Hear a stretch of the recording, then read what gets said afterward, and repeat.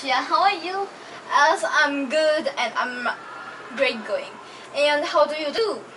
I'm good and rich. So, what's that fascinating thing in your hand?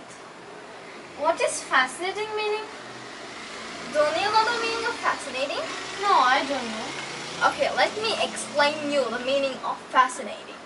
So first of all, let's start with the pronunciation. So the pronunciation is fascinating. Fascinating. Yes, of course, fascinating. So the spelling is F A S C I N A T I N G. Good. Fascinating. So this is the spelling, and um, the meaning is showing an extremely interest in one thing.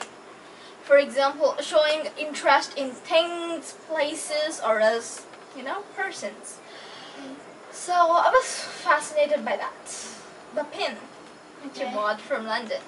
And um, yes, and the examples are, let me say you some examples. Do you know Sasra? Yesterday I saw a film of Legend. It's really fascinating film. And Sasra, this Wuthering Heights by Emily Bronte. This book is really fascinating. I recommend you to read. Thanks. And um, you also have another another example, which Tell me the fascinating synonyms of fascinating. uh, of course, let me explain you the synonyms. So the synonyms are, repeat after me, Okay. engross, Engross, enchant, enchant, enchant. yes, enchant, Okay. entice, Entice, captivating, captivating, seductive. seductive. So these are five synonyms of our word fascinating. So fascinating is nothing but showing, Showing interest. interest. Showing interest. It's nothing but interesting.